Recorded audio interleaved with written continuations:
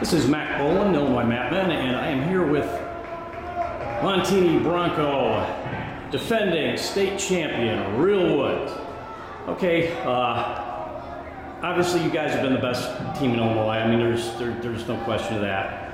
You had a real big, two big dual meets last weekend. Go ahead and uh, tell us about it. Uh, the first one was a little tough, you know, tough to swallow that, Mhm. you know, we could have beat that team. And uh, unfortunate that a couple things didn't go our way that we expected. And we came out on the bad end, but I was I was really happy that we bounced back and, you know, it's about how you react to a to when you get knocked down. So is there anything, I mean, uh, you or Izzy or any other senior leaders like uh, Will or Joey, you guys said to the other guys to get pumped up for the Bergen duel after you lost the Oh yeah, first one? Uh, I mean, Coach Izzy right away was on us, on us, you know, hard like always. That's because that's what we need. Every coach needs to be like that, you know, because then he's doing his job. You you you realize things that you didn't realize before, and uh, that's what he did. He got on us. Every one of us singled us out, and uh, made sure we got it done the next match.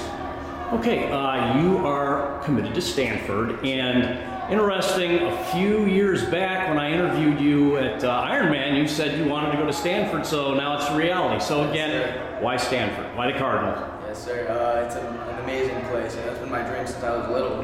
It's why I came out here to Illinois. You know, I used to live in New Mexico. Right. Uh, it's been a dream of my family's, you know, and we got it done. Great, it's amazing. All right, now any of the uh, Illinois guys that are at Stanford right now talk to you?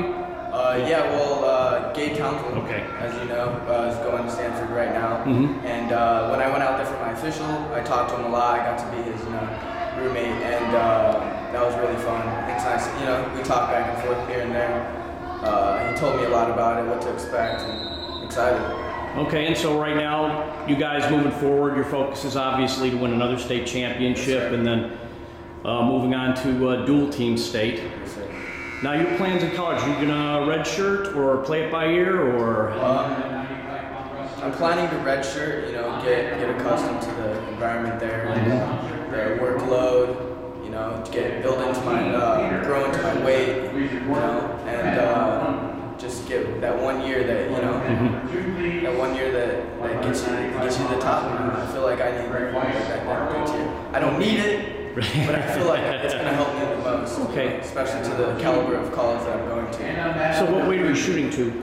Shooting for him? Uh, I plan on wrestling 141. 141? Okay, so you have time to grow into that. Yes, sir. And academic-wise, uh, what are you gonna pursue? Um, I'm not sure right now. I'm really interested in biology, but I've uh, looked in a little bit into computer science, you know, and things like that. But it, at this point, I'm kind of open, and uh, I've just got to focus on which I which I like best. You know, figure it out. But right now, I'm just, right now, right now, I'm not. All right, well, thank you very much for your time and uh, good luck going forward. Thank you.